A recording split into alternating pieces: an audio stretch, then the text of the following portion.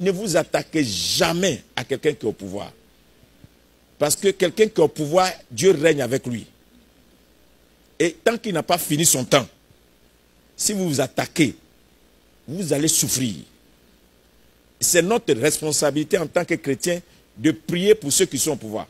Tu es d'accord, tu n'es pas d'accord, c'est les principes de Dieu.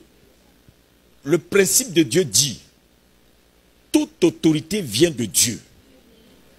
Si vous voulez réussir sous le règne de quelqu'un, bénissez son règne. Demandez en son temps, moi je vais être prospère, moi je vais avancer, je fais mes choses, que Dieu le bénisse. Alléluia.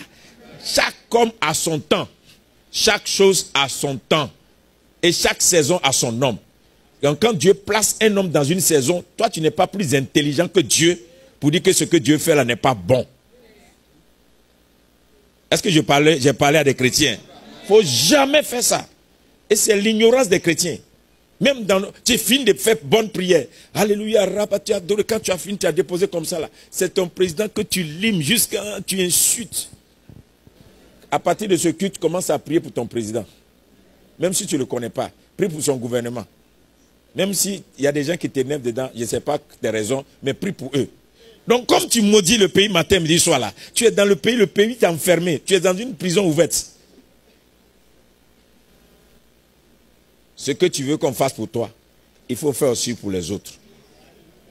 Ça va? Aime ton pays, aime ton président, et puis voilà.